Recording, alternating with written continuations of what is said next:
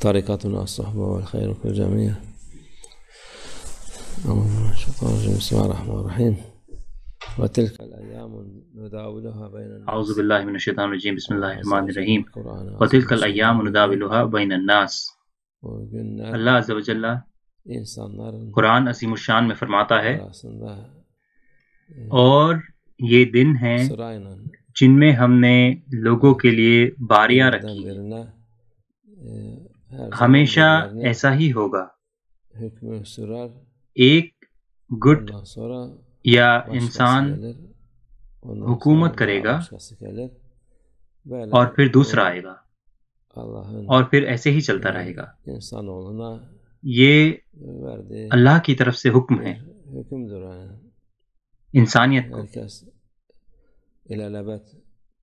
हुकूमत सिर्फ़ एक ही इंसान के पास नहीं रह सकती हमेशा। वो बिल्कुल दूसरे के पास जाएगी। जो कुछ आते हैं जो अच्छे हैं और कुछ आते हैं जो बुरे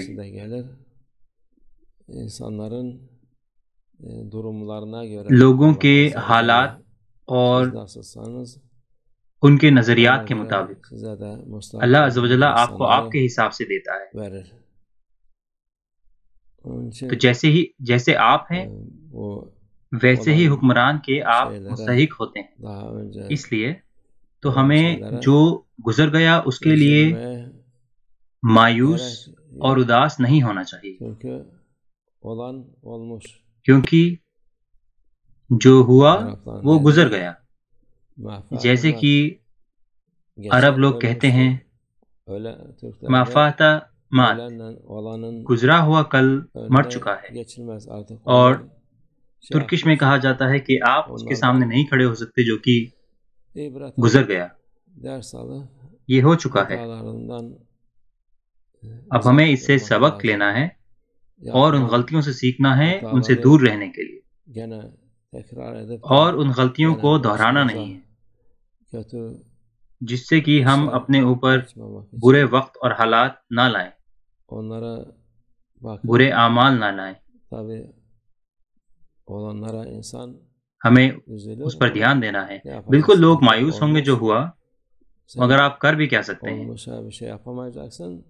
जो गुजर गया उसको आप बदल भी नहीं सकते आपको अपना ध्यान रखना है और अल्लाह के नेमत.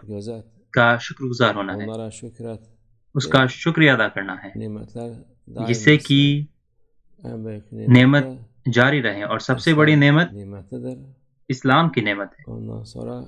और फिर ये मुल्क। इस्लाम जो कि इस्लाम का मुल्क है।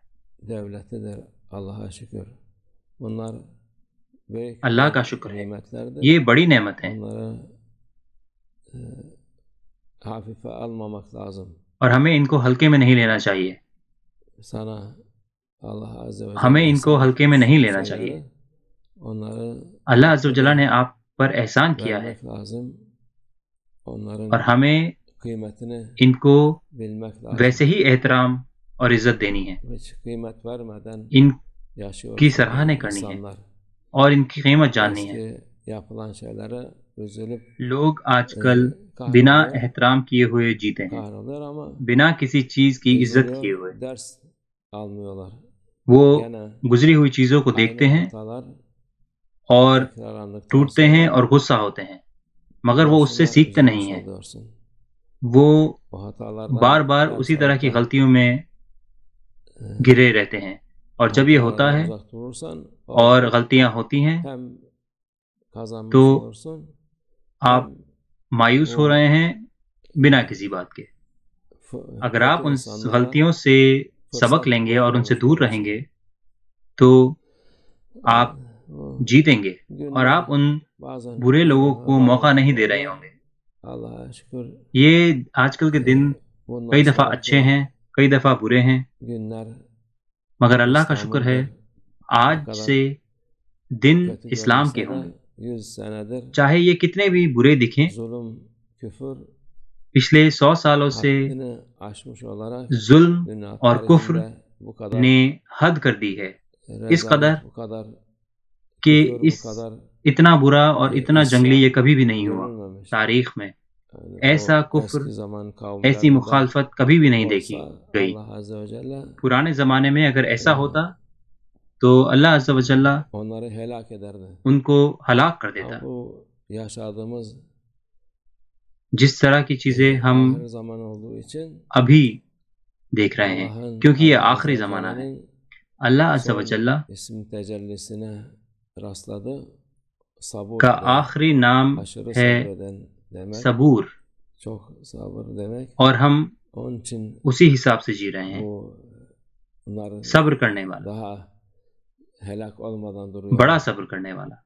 इसलिए वो वैसे खड़े हैं बिना हलाक क्योंकि जब से दुनिया खल्क हुई है ऐसी मुखालफत और कुफल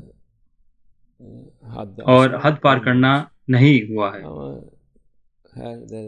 मगर जैसे कि हमने सोहबत की शुरुआत में कहा ये इसी तरह के दिन हैं ये उनके दिन हैं।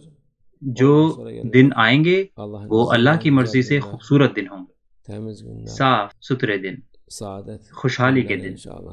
इंशाल्लाह अल्लाह. हमें उन दिनों तक पहुँचाए इंशाल्लाह और हमें सलामत रखे इंशाल्लाह. और हमारे ईमान को सलामत रखे और उसमें अता फरमाए इंशाल्लाह